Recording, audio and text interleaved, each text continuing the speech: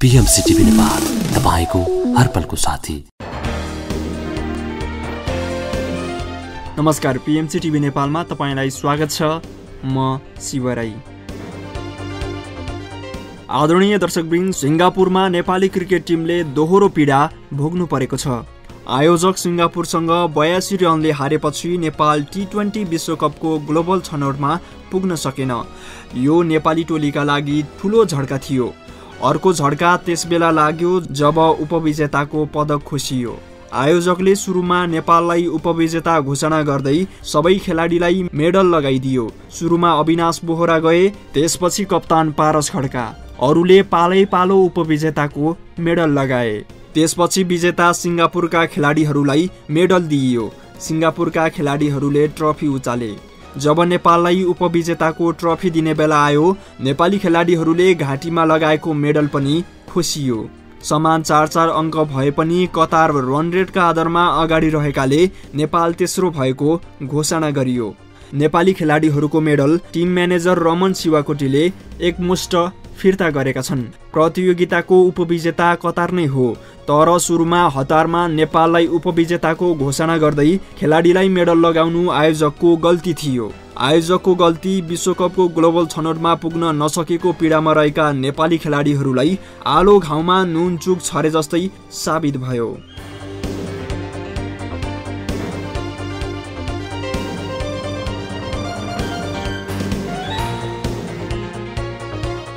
Online खबरबाट साभार गरेको सामग्री हामीले तपाईँमा प्रस्तुत गऱ्यौँ यस्तै यस्तै सूचना समाचार अनि जानकारीमूलक सामग्रीको लागि पिएमसी टिभी नेपाललाई सब्सक्राइब गर्न नभुल्नुहोला।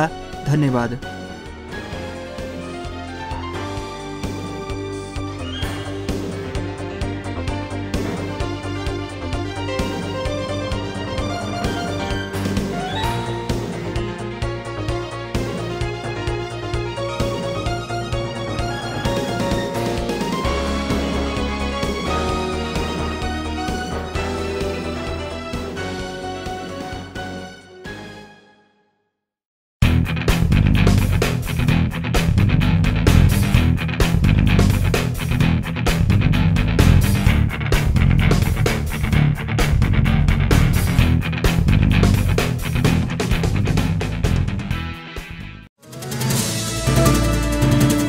दुई सालबाट सञ्चालित नेपालकै पहिलो भाषण कला तालिम केन्द्रमा नयाँ कक्षाका लागि भर्ना खुल्यो।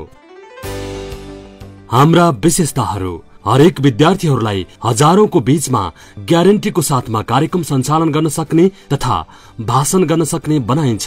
पन्ध्र सोह्र वर्षभन्दा बढी लामो अनुभव बटुलेका प्रशिक्षकद्वारा सिकाइन्छ। डरले थरथर काप्ने होस् या एकपटक पनि माइक्रोफोन नसमातेको व्यक्तिलाई मञ्चमा निर्धक्कसँग भाषण गर्न सक्ने बनाइन्छ। पढाइ कम भएका तथा कमजोर विद्यार्थीहरूलाई विशेष कक्षाको व्यवस्था।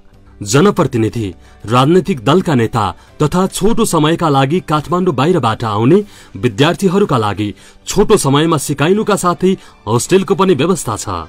ग्रुप मिलेको खण्डमा सम्बन्धित स्थानमै आएर सिकाइन्छ। आरजे भेजे तथा भिडियो एडिटिङका ट्रेनिङ कोर्सहरू आफ्नै अत्याधुनिक स्टुडियोमा पूर्ण प्र्याक्टिकल सहित सिकाइन्छ। प्रेस्टिज मिडिया सेन्टर प्राली चावल चोक काठमाडौँ। फोन नम्बर शून्य एक चौवालिस छयानब्बे शून्य शून्य छ। मोबाइल नम्बर अन्ठानब्बे पाँच एघार छयानब्बे शून्य शून्य छ।